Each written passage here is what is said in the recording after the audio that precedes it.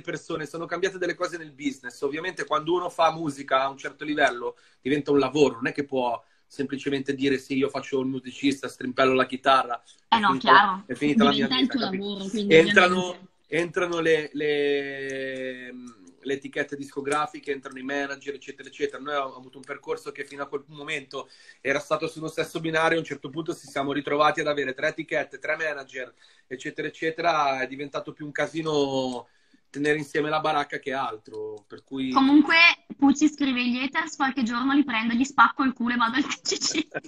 Amen, Andre, delicatissimo. Perfetto. Ma Pucci ha, Pucci ha, un modo di vedere la vita che fa talmente ridere che io non riesco neanche a immaginarmi che gliene frega qualcosa degli hater. Cioè,